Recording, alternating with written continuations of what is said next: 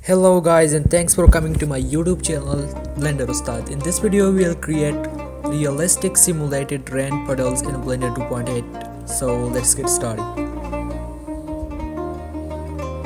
So first of all shift A and add a plane, scale it up. Go to the modifier setting and add a subdivision modifier, make the level to up to 6 and then go to edit mode control R to add some loops to make it sharp. Now go to go to the physics setting and add a dynamic physics with the canvas. And then shift A to add another plane and grab it up. And then add a camera and press ctrl alt and numpad 0 to snap the camera. After that select the upper plane and add a particle setting.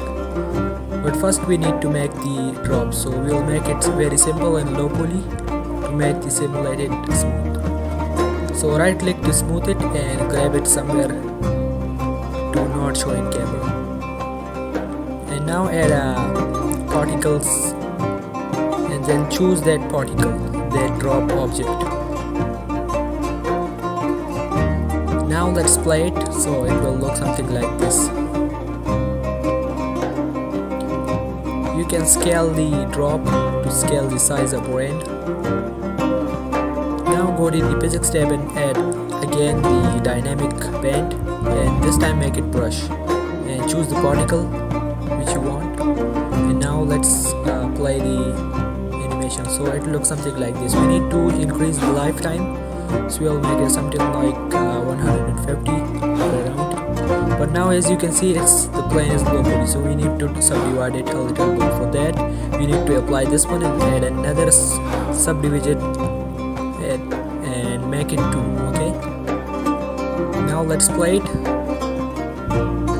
It will be a little slow because of the higher subdivision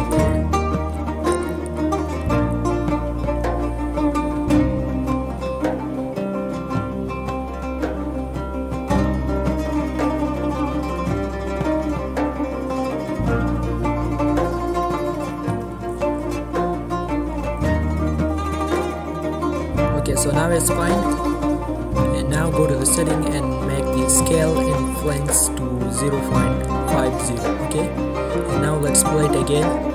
Because the strength of the uh, rain was too high and it was affecting the surface too much. So because of this I changed the value. And the simulation is very slow so we need to make it the value 1 for now. And here is it. So i hope you like it and if you like then please. Give me a like and subscribe to the channel for more interesting videos for now